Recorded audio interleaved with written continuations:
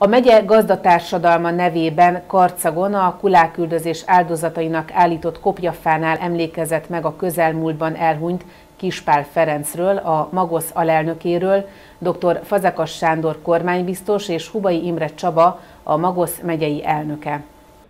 Dr. Fazekas Sándor a megemlékezésen Kispál Ferenc országgyűlési képviselői munkájáról is elismeréssel szólt, hiszen tapasztalatát, szakértelmét az országgyűlésben a mezőgazdasági bizottság tagjaként az agrártörvények kidolgozásában is hasznosította a gazdák érdekeit szem előtt tartva.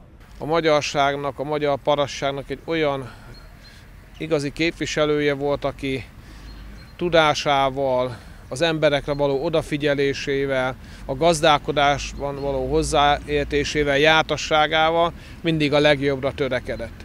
Én örülök annak, hogy családja is képviselve van most itt Jásztatykú Szolnok megyei karcegi megemlékezésünkön, hiszen egy pillanatra megállunk itt a nagy forgalom, a forgalom zajában, és visszaemlékezünk őre, aki szerette a hatát, azt az alföldi tájat, amelyben mi is élünk, értette azt, hogy hogy kell azt megművelni, hogy kell jó szávokat nevelni. Fontos szerepe volt a Nemzeti Agrárgazdasági Kamara Csongrád megyei újjászervezésében, és a rendszerváltás utáni gazda összefogás egyik fő képviselője is volt a járvány intézkedések miatt csak helyben emlékezhettünk meg Kispál Ferencről, aki hódmezővásárhelyi gazdálkodó, országgyűlési képviselő volt, helyi gazdakörnek, megyei gazdakörnek, illetve megyei agrárkamarának is hosszú éveken keresztül elnökeként dolgozott.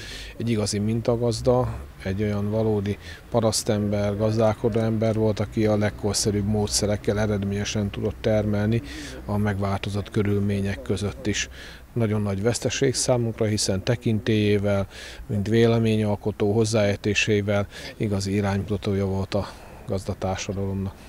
Huba Imre Csaba is egy igazi jó barátot, gazdatársat veszített el Kispál Ferenc személyében, aki 1946-ban született Hódmezővásárhelyen. Kispál Ferenc gazdatársammal 1993-ban ismerkedtem meg, mint alapító gazdaköri elnök. Ő is az volt. Lakitelken készültünk az elkövetkező időkre, a föld privatizációjára, a gazdatársadalom helyének a kialakítására. Sűrűn találkoztunk, szinte mondhatnám havonta. Amikor nem sikerült havonta, személyesen telefonon beszéltünk. Feri egy kimondottan alapos, megfontolt, jó felkészült, elkötelezett magyar gazda volt, akitől lehetett tanulni, akire lehetett számítani, és minden vonatkozásban az az ember volt, aki példaértékű életet élt, és példa lehet valamennyi gazdatársunk előtt. A Magosz alapító tagjaként, a Hódmezővásárhelyi gazdakör létrehozójaként elévülhetetlen érdemeket szerzett a rendszerváltás utáni gazda összefogásban. A parlament előtt a karcagiakkal együtt képviselte heteken át a gazdák érdekeit, és a későbbiekben is mindig számíthattunk rá, mondta róla Huba Imre Csaba, akivel együtt kapta meg a Kovács Béla díjat is szakmai munkája elismeréseként Kispál Ferenc. 2005-ben a gazdademonstráción együtt dolgoztunk, együtt működtünk. Később országgyűlési képviselőt képviselte a gazdatársadalmat felé.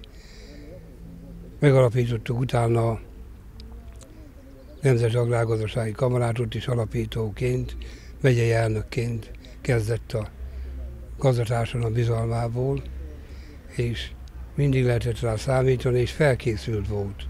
Egyszerű, szókimondó, nyugodt, igazi paraszti logikával gondolkodó ember volt, akire mindig lehetett számítani.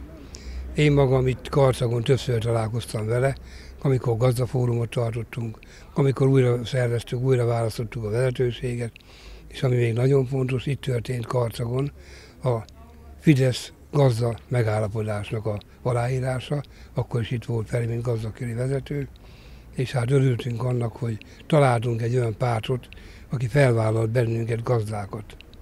És ez a tartalmas munka eredménye hozta azt, hogy a gazdatársadalom stabilizálódott, összefogásába erősödött, gazdaságilag fenntartható módon a jelenlegi helyzetben is, meg az elmúlt időszakban bármikor lehetett rá számítani. Feri kiemelkedő munkát végzett, együtt kaptuk kitüntetésként a Kovács Béla díjat, ez a legmagasabb kitüntetés a gazdatársadalomban. Akkor is csak ő szerényen, egyszerűen, a maga egyszerűségével mondta, hogy hát Imriském, ezt talán megérdemeltük. És ennek a szellemben a birtokában voltunk együtt mindig, és mindenben egyetértettünk. Ő volt az a bázis még ebből a korosztályból, akire bármikor számíthattam. Ha véleményt kértem tőle, mindig objektíven tudott segíteni.